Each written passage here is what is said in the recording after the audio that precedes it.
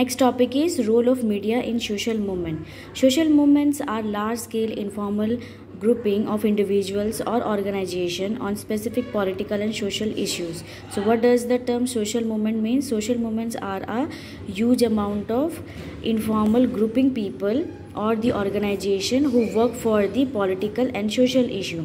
Media plays a very important role in the success of social movement dealing with environmental issues, farmers' rights, right of tribal people, water scarcity, exploitation of women, exploitation of poor by the rich, etc. So, what are the other important role of the social movement are? They deal with the environmental issues. They also fight for the farmers. They also uh, try to give the rights to the tribal people if there is a water scarcity if there is a shortage of water they try to uh, you can say bring uh, bring a sufficient amount of water so that the water scarcity can be overcome.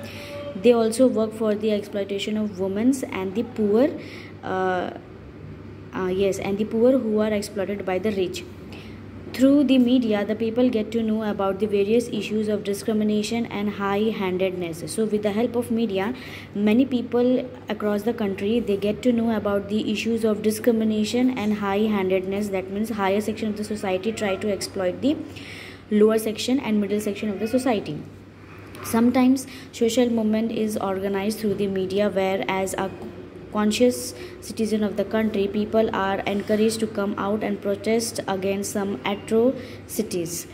So sometimes uh, with the uh, these social movement, they organize. Uh, you, uh, you can say a special time of uh, you can say um, scheme or or uh, certain type of campaign with the help of media through which they try to uh, encourage the people throughout the country to come out and protest against the discrimination. Social movement are an important means of getting the voice of people heard by the government. So sometimes the social movement they also plays an important role so that the normal people can speak their opinion and they can share their opinion and views uh, in front of the media through which uh, with the help of these media these information can get to the government in many cases, such movement had led to the punishment of the guilty even if they belong to the rich and powerful class of the society.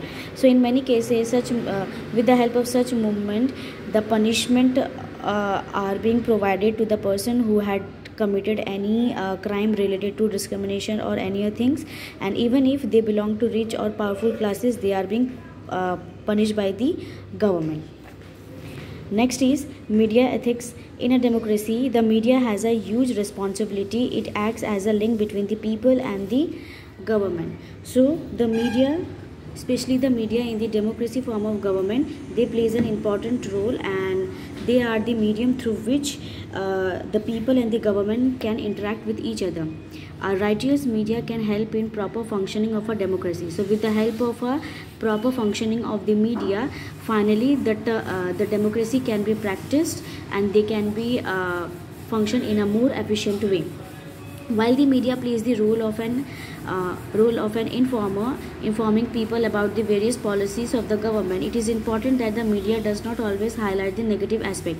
So as we already know the media play an important role and it provides information to the local citizen of that particular country uh, uh, and about the uh, different types of measures and functions which are being conducted by the government. Sometime um, or you can say in some situation it is a duty of the media to show the positive aspect of the government rather than negative aspect. While it is important that the government's policy and programs are criticized if they go against the wishes of the people it is also important that the information presented to the people is free from prejudice and bias and people are able to form their own opinion. So it is very important that the media shows the government policies and program and uh, and in some cases the media also criticize about the government policies and program so that uh, uh, so that it is uh, you can say uh, uh, so that the people of that particular country can get to know what are the positive and negative aspect of that particular government and accordingly they can choose um, their representative. And it is the duty of the media to to provide uh, you, to provide a correct information regarding any government policies and and program so that the people are free to uh, judge whether this particular government is good for their uh, country or not and hence it helps in shaping the public opinion. The aim of the media should be uh, should be to inform and not to create sensation and mislead to the people. So it is a duty of the media to provide a correct information and not to create a negative impact on the public. Some of the ethics the media should adhere to be uh, adhere to can be listed as follows. So what are the different types of you can say um, different types of uh, functions and role which are being played by the media? The first one is the media should uh, source the media should source information from a genuine and reliable sources before presenting it to the public. False reporting and misreporting of facts might lead to to unnecessary confusion. So it is a duty of the media to provide a correct information and the information which are they uh, and the information which they are getting it should be genuine and reliable sources so that they can present to the public. And before presenting to the public they should uh, look after whether that particular information is correct or not. Okay? And if they uh, if the uh, report or the information is false uh, it will uh, lead to the unnecessary confusion among the people. Next is the media must present the truth. All facts that have been obtained from a reliable source must be put forth honestly the media should never give half baked information before uh, based on rumors so it is the duty of the media to present the truth in front of the people of that particular country and whatever the information they are getting that should be reliable and that should be accurate. The media should never give half information to the people uh, on the basis of rumors due to which it can cause confusion it is the duty of the media to protect individual rights to privacy, especially during calamity. So, it is a duty of the media to provide, uh, you can say, uh, or to protect individual right to pri- privacy, especially during the uh, during the calamities, that is, drought, earthquake, flood, and so on. The media should be balanced in its reporting. It should not report things that might hurt the sentiment of a particular group of people and cause tension in the society. So, it is the duty of the media. It should provide balanced information uh, when they are reporting in a any situation. The report should not be in such uh, or you can say the information which are being given by the media it should it should not hurt the uh, sentiment or uh, yes sentiment of any particular groups and finally due to which it can cause tension in the society the media should be impartial and should not take anybody's side while reporting facts. It should not discriminate or spread hatred on grounds of race, nationality, religion, and gender. So, it is a duty of media that it should not uh, support any social group or any community, or they should, uh, you can say, practice um, prejudice while reporting the fact.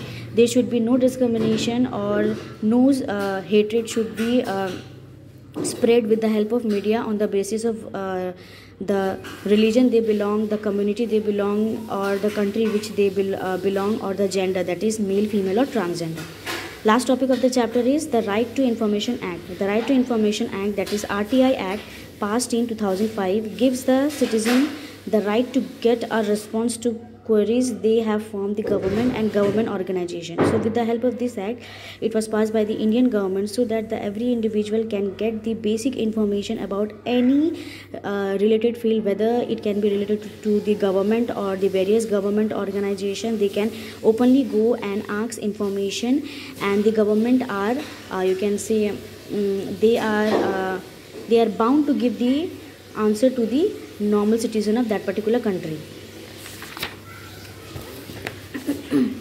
under the RTI, people are entitled to seek information on any particular issue to understand how our government and public institution function.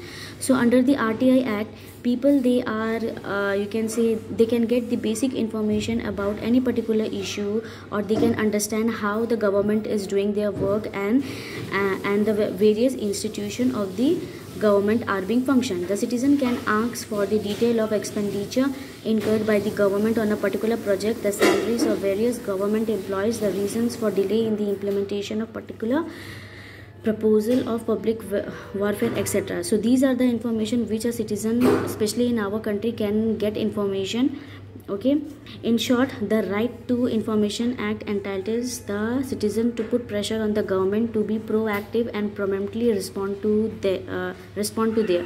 So the main objective of the right to information act is that it uh, the citizen of our country they have the power to pressurize the ruling government to work accordingly and work according to the welfare of the people. Thus the rti uh, rti has made the government more accountable to, to its citizens. So hence we can see that with the help of rti act the indian people have the authority had the basic rights to get information about anything which the government is doing and it is more accountable. That means the present ruling government should answer all the info all the questions which are being questioned by the citizen and hence the government is bound to answer those questions. And with this we end the chapter